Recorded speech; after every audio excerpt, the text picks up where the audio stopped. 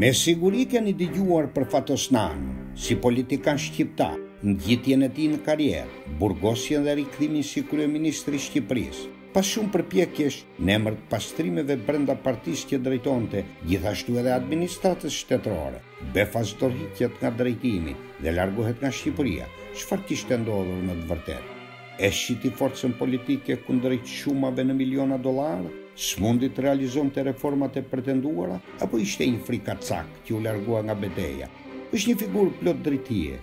Trashëgimia e tij komuniste, sikurse edhe ajo familjare, me siguri e pengonin të ndryshonte brendinë dhe të hartonte platforma demokratike. Ai filloi karrierën e tij politike në marsin e vitit 1991, Pasi u zgjodh kryeministër i qeverisë së tranzicionit, pas dy muajsh u detyrua të japë dorëheqjen. Atë vit ai u zgjodh kryetar i Partisë Socialiste, e cila ishte pasardhëse e Partisë së Punës së Shqipërisë. Në mars një mijë e nëntëqind e nëntëdhjetë e dy, Partia Demokratike fiton zgjedhjet dhe një vit më pas, Fatos Nano u burgos, pasi u akuzua për korrupsion dhe abuzim detyre nga gjykata. Burgosja e tij u bë problemi kryesor i Shqipërisë postkomuniste. Në vitin nëntëdhjetë e shtatë, Nano u lirua nga burgu pas një amnistie të dhënë nga presidenti i Republikës. Zgjedhjet, të cilat u zhvilluan në kushte jo normale, u fituan nga Partia Socialiste. Fatos Nano emërohet sërish kryeministër i Shqipërisë. Revolta opozitare, pas vrasjes së Azem Hajdarit një vit më vonë, domethënë në vitin nëntëdhjetë e tetë, e detyroi Fatos Nanon të japë dorëheqjen. Fatos Nano u bë kryeministër për të tretën herë, Në korrik të vitit dy mijë e dy, më një shtator dy mijë e pesë, Nano dha dorëheqjen si kryetar i Partisë Socialiste. Më tetë korrik dy mijë e shtatë, kërkoi të zgjidhej president i Republikës, por nuk pati mbështetjen e forcës politike që kishte drejtuar vetë. Si deputet i parlamentit shqiptar, ka shërbyer në zonën e Kuçovës, Tepelenës dhe Sarandë. Po mirë, çfarë përfaqësonte në të vërtetë ky njeri? Mbaroi gjimnazin Sami Frashëri në Tiranë, kreu studimet e larta në Fakultetin e Ekonomisë, Në vitin shtatëdhjetë e pesë kreu specializimet për ekonomi politike.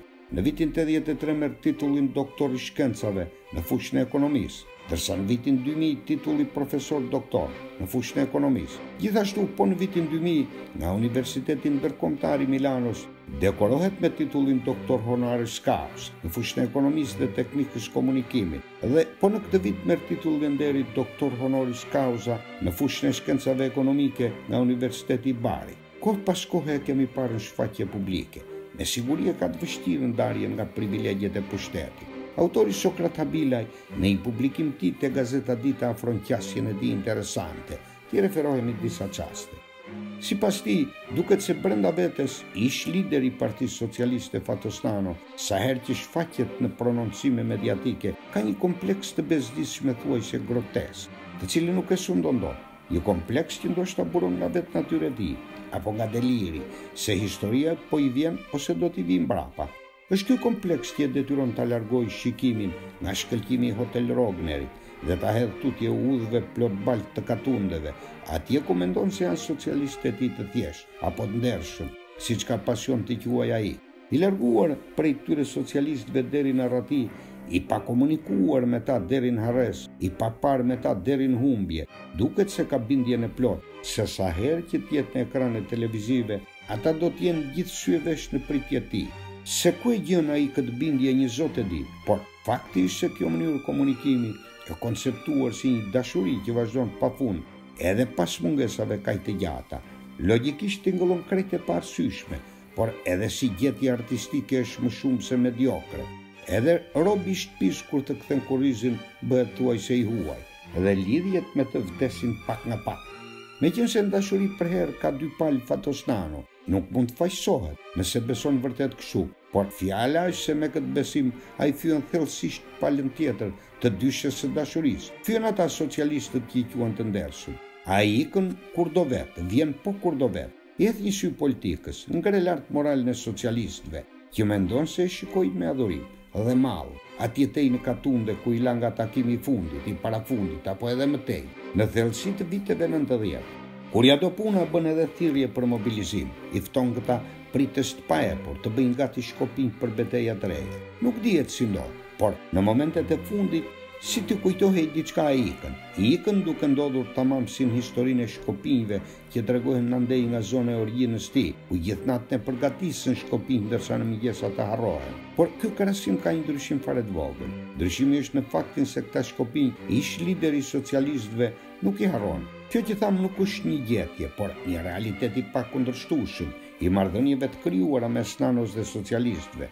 Dhe nëse do të kërkonim të gjenim dritëhijet të kësaj lidhjeje, pa hezitim do të thoshim se në këtë marrëdhënie, lidhje e ndarje mes tij dhe socialistëve në të gjitha rastet, Nano ka pjesën e mëkatit, ka pjesën e fajit, pa asnjë diskutim. Në historinë e gjatë në raport me socialistët, absolutisht në asnjë rast, prishja e marrëdhënieve mes tyre nuk ka ardhur nga askush tjetër, por vetëm prej tij. Kur është dashur që ai të marrë dashuri prej socialistëve, E ka pasur këtë dashuri me shumicë, ndërsa kur është dashur të kthejë sadopak dashurinë ndaj tyre, kjo nuk ka ndodhur. Edhe për këtë mjafton të marrim disa argumenta fare të thjeshtë. Fatos Nano bëri një burg krejtësisht të padrejtë politik, jo për faj të socialistëve, por për meritë të tyre, të dashurisë së tyre dhe jo të Fatos Nanos. I burgosuri socialist u kthye në simbol. Ishte periudha kur mungesa e tij i bashkonte socialistët. Ishte mungesa e tij që sillte frymë pozitiviste, por edhe kjo frymë pozitiviste edhe pse e lidhur me emrin e tij, ishte meritë vetëm e socialistëve dhe askush tjetër, pra as e tij. Me ardhjen në krye të socialistëve pas vitit nëntëdhjetë e shtatë, në gjirin socialist lulëzuan të gjitha veset dhe intrigat. E gjithë kjo frymë negativiste ishte e lidhur vetëm me emrin e Fatos Nanos dhe aspak të adhuruesve të tij. Ishte periudha kur dashuria u kthye në ves, ishte periudha kur në delir e sipër, hipur mbi supet e socialistëve, Fatos Nano do të deklaronte se pas tij do të vinte historia. Ishte periudha kur në kushtet e bashkëjetesës dashuria do të vdiste, Në mesin e vitit dy mijë e pesë, Fatos Nano iku dhe pas kësaj duket se u fashitën veset dhe intrigat. Ka njerëz që e mendojnë ikjen si një veprim pozitiv të tij, por ka shumë tjerë të cilët i njohin më nga afër historitë e dashurisë politike të Nanos, që thonë se nëse ka gjë pozitive në këtë mes nuk është ikja e Nanos, por mungesa e tij. Ikja dhe mungesa nuk janë e njëjta gjë. Ndodh shpesh që ai shfaqet, dhe shfaqet pikërisht atëherë, kur nuk duhet të shfaqet. Shfaqet si për të thënë se ende historia vazhdon e shkon pas tij, por në fakt qëllimi i shfaqjes së tij është shumë më meskin. Ai vjen, bën thirrje sërish për të përgatitur shkopinj, dhe pastaj ikën, duke ua lënë shkopinjtë nëpër këmbë. Por, mos harroni, edhe pasardhësit e tij janë të ngjashëm me të. Komunistët e kanë të vështirë ndryshimin, ndoshta të pamundur.